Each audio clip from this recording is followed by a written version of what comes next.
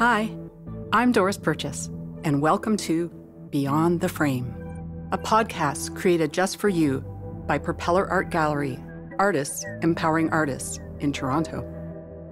Together, we'll take a deep dive into the hearts and minds of working visual artists today and their practice. In each episode, you will hear illuminating and intimate explorations of all things art, and you'll hear it in the artist's own voice. We'll talk process, inspiration, challenges, and much more. Everything you've ever wanted to know about art making or about the artists themselves happens right here. So let's sit back and have a listen, shall we? Today we welcome Sharron Corrigan Forrest. Which ism is it? Under which ism would you classify your work?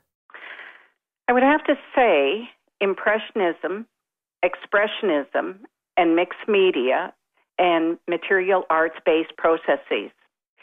If I think about the style of Impressionism, my work has always been about my impressions of nature and the painting techniques that I employ.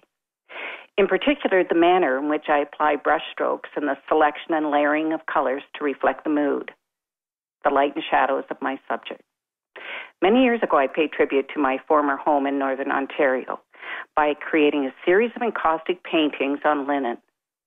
Many of the pieces were in a narrative format using diptych and triptych formats as large as 6 feet by 12 feet. The perfect scale to tell a story of striking heights of the old growth forest. I feel that expressionism is another ism that I employ since it allows me to convey my emotions. It may be through the techniques that I apply using various brushstrokes depending on the medium and tools, the actual application of the medium itself, and the embedding of certain materials that blur the relationship between images and feelings. Maybe in my use of messaging as a response to past experiences and or circumstances that I react to in my immediate world. And then I'm not sure if this fits into an ism. There is mixed media and material based processes. At times, and depending on my desire to experiment, I may incorporate various materials, again, processes, techniques. It may be the use of photo based imagery, different types of printmaking, embedding laser die cut materials such as paper, birch ply, and plexiglass and or remnants or debris from nature, decaying leaves, moss, birch bark, and branches. My enjoyment and often the creative challenge comes from incorporating the various methods and materials in the assemblage of each piece. In some cases, there may be a considerable amount of time that passes before I revisit their use. And when this happens, it's like saying hello to an old friend that I haven't seen in a while. There is also the reality that when you travel in the world of experimentation with various materials, that some of the work are more successful than others. And the ones that do not get along, I usually leave it alone in order to come back to it at a later date. When doing so, it affords me the opportunity to look at it with fresh eyes and an open mind, thereby providing me, again, with the time element of being able to listen to what it's saying. When this happens, it usually tells me what I need to do next. It is real conversation between my work that I produce and myself as a producer. Who's your muse? Influencers, educators, mentors? Who has greatly inspired you? Mm. Okay. Helmut Becker is someone who I met and worked with for a very brief period of time. However, he has had a profound effect on my career as an artist. He is my former professor who introduced me to the world of papermaking and printmaking. Helmut Becker has an extensive career as an artist papermaker, history of exhibitions, research, and publications for which he has gained a notable international reputation. He has taught printmaking, papermaking, hand papermaking, and his research involves fibers of flax and hemp. Helmut was the first person to introduce me to the art of papermaking, and I've loved it ever since. When working under his tutelage, he mainly focused on working with flax and hemp, teaching us, in particular, I would stay longer to work with the materials and be able to create not just two dimensional but three dimensional pieces from the pulp that we produced. Since then, I've been fascinated with paper and the process. I've been fortunate to have studied with masters in Japan in Tochigi Prefecture and in Boston, where I studied with the daughter of Elaine and Sidney Koretsky at Carriage House Paper. Their focus is on the creation of paper that use a range of pulps and fibers, including abaca, flax, hemp, cotton, and kozo. The main pulp that I used to create, again, both two and three dimensional paper art was flax and abaca. And this now leads me to speak about one more very important muse, Nancy Jacobi. In the 80s, I remember visiting your store on Queen Street West and becoming enamored with the products. I just wanted to touch everything. Nancy's enthusiasm for washi was and continues to be contagious. And it was because of these visits to the Japanese paper place that I sought out opportunities to study paper making as well as indigo dyeing in Japan. Since then, I've been fortunate to have taken workshops and to have worked with Nancy and her staff when co curating the Promise of Sekishu exhibition, a collaboration between Propeller Art Gallery and the Japanese paper place. Nancy's passion and love of washi also includes her support of many centers, organizations, galleries, including Propeller Art Gallery, and she is a muse to a huge number of artists, including being a founding member of the Washi Sisters. Materials matter. What are your chosen favorite tools and preferred medium? Hmm. Now I feel as though I have to pick out and name my favorite child. Okay, I will do so. And I would have to say that my favorite medium is oil and encaustic. I've been using it in my work since the early 80s, and my affinity for it is because it has a richness, depth, ability to build textures, and a possession of an inner light that to myself no other medium is able to achieve in terms of having these special qualities. I'm able to embed paper, metallic leaf, and other surfaces into it, allowing me to create a medley of impasto built surfaces. I've used it on linen, canvas, paper, and birch panel.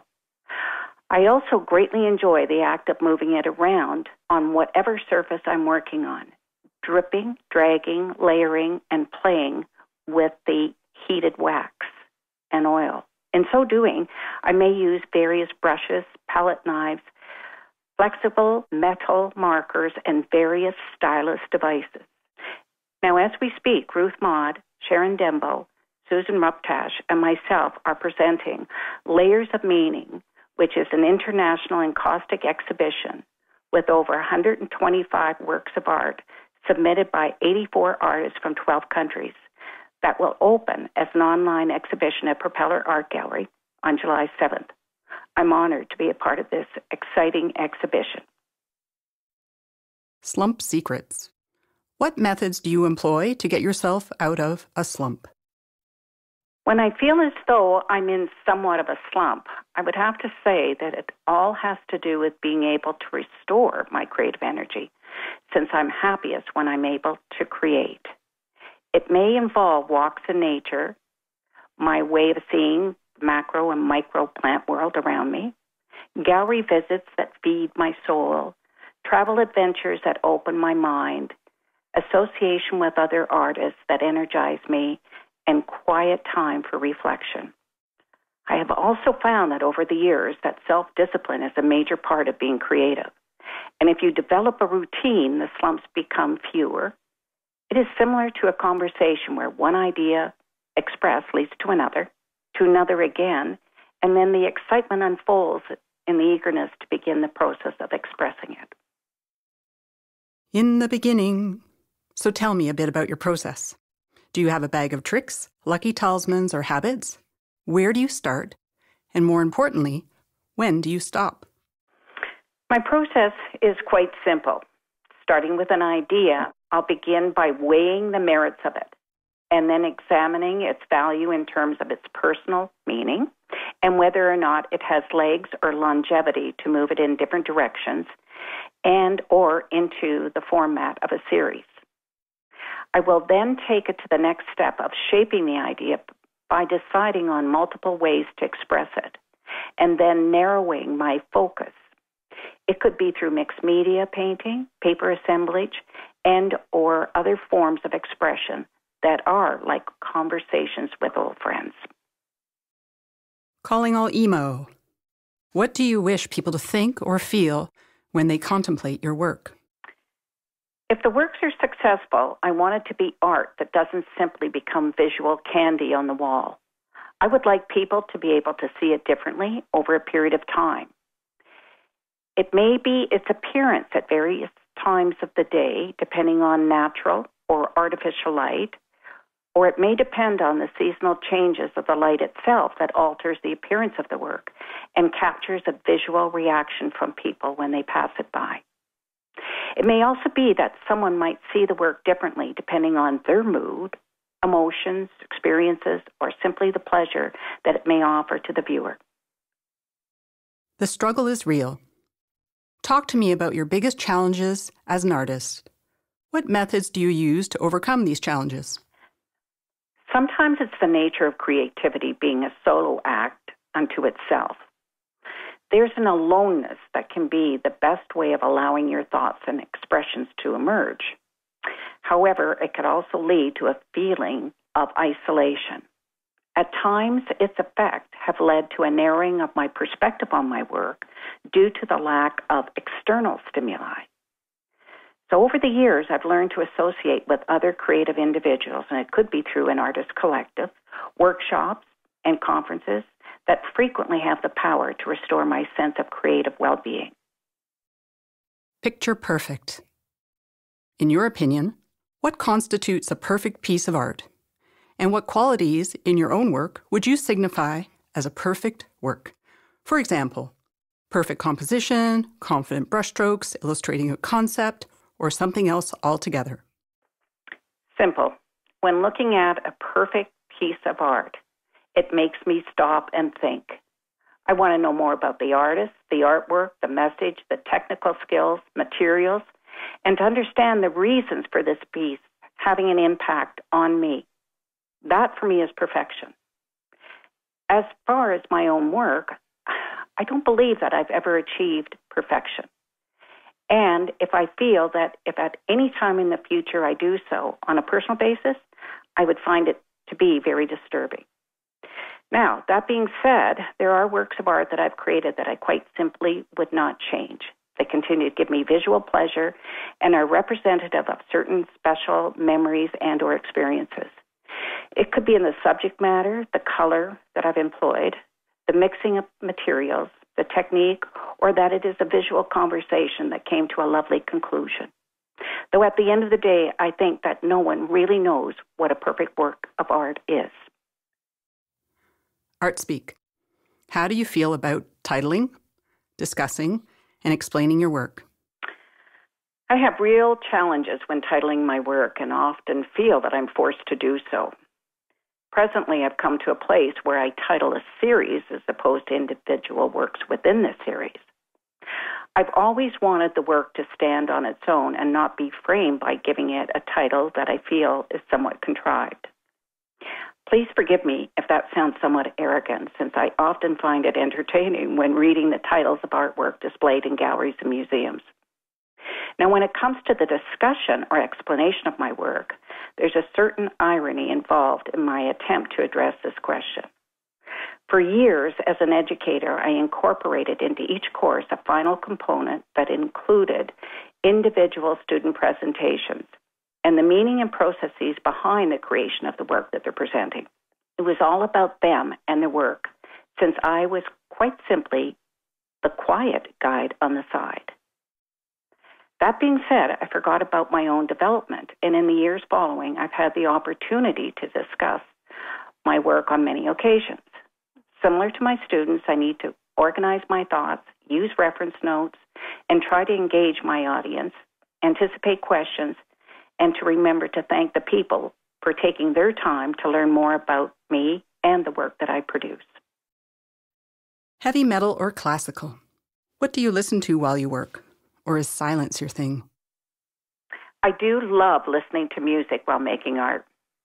My taste in my tunes are definitely eclectic jazz, world, blues, classical, folk, Motown, Celtic, and many, many more genres. What a wonderful way to create a sensory experience, ambiance, or mood as background setting while working in my studio. Why for art, though? Why do you make art? Oh dear, the final question and my answer is why do I breathe? My earliest memories of making art is taking my older sister's pencil and doodling characters from my storybooks in her lined notebook. She had to explain that when she went to school. I would use any surface, brown butcher paper, and including my mom's stationery. Most of the time, the compulsion to make marks kept me out of trouble.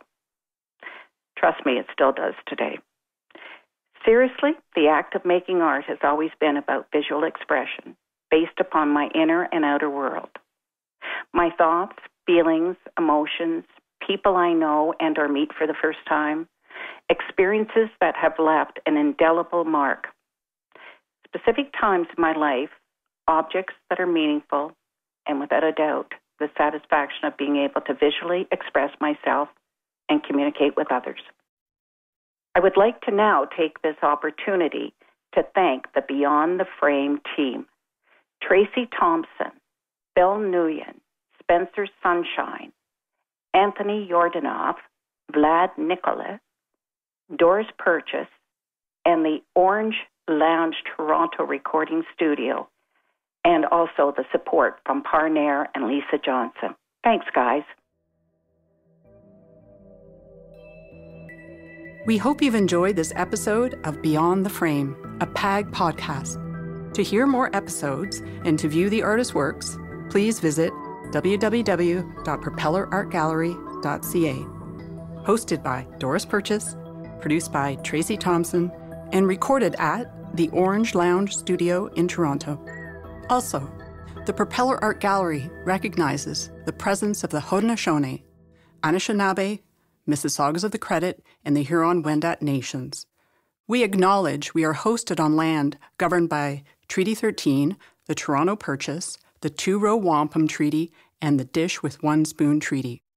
We are committed to peaceably sharing and caring for the resources around the Great Lakes and operating the gallery on the principles of inclusiveness as we continue to exhibit art created by artists from all over the world. Thank you for listening.